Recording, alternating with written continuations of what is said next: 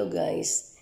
Eh, papakita ko lang sa inyo yung yung kusina ko na pinatiles namin.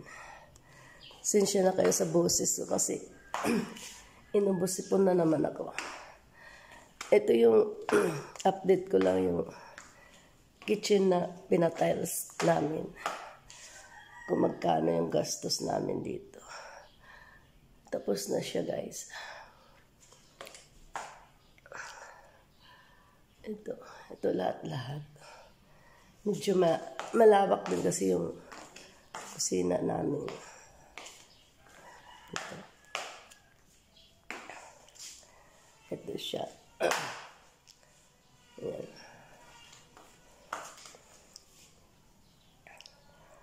Last week pa siya natapos kaya lang nagkasakit na naman ako. Trangkaso. Kaya ngayon lang ako mag i-update ko lang yung ano namin. Itong ano niya guys, hindi siya granite. Ito. Hindi siya granite. Ano siya, gla uh, glaze. Glaze yata yun. Tag 291 yung isa. is ito. Guys. Yung kitchen ko guys, yung kabuuan ng kitchen namin, malawak. Alam niyo kung mag ilan lahat tiles dito lang sa ano, sa kitchen. 100 for ay 110. 110 lang kasi may may natira pa. 110 tiles. Yung lapad niya is 60 by 60. Tag 291 ang isa. Sa ano lang yan. Sa kitchen ko lang. Ito yung mga halaman ko. Nilagay ko na siya na ano, yung mother plant. Ito naman sa terrace. Magkaiba yung kulay niya. Medyo may kalaparan yung ano namin. Yung kitchen namin. Kasi ayaw namin yung may mga divider. Kasi yun ang nagpapasikip sa kitchen. Ipapakita ko sa inyo yung terrace naman.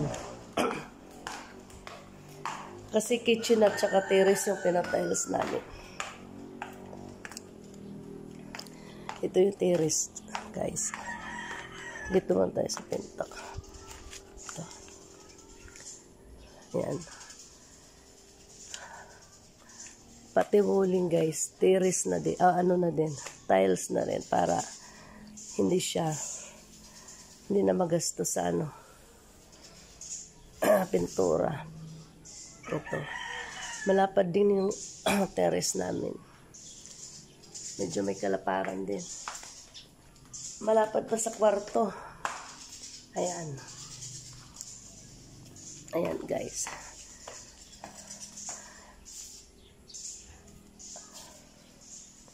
Yan, palibot. Pati wuling pina tiles na rin namin.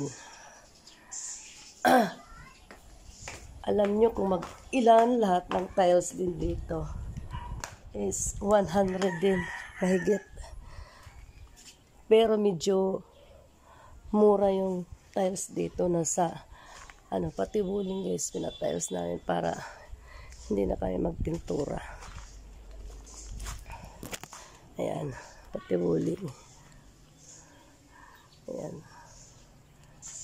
Magastos kasi pag ilang years, magpapintura ka na naman. Kaya, ang ginawa namin, tinails namin pati wuling. Ano lang ang isa nitong tiles, guys? Is 100 180 lang yata ang isa nito.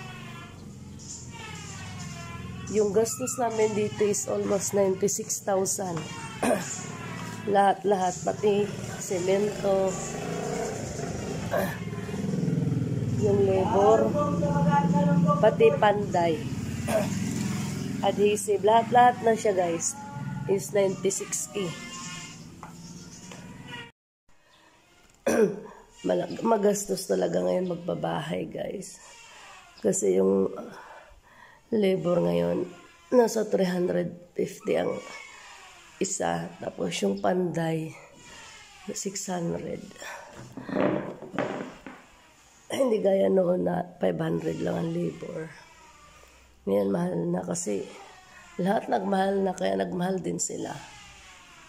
Glass, ah, glaze pala ito. Yung ano, yung, yung tiles nito kaya mahal siya. Hindi siya granite. Yung granite, ma, maano, madulas yung granite. Ganitong ano ang pinili namin kasi maganda siya tingnan. Ano naman yung puti, common na siya kasi. Yung puti na ano. Okay guys, hanggang dito na lang. Salamat sa inyo.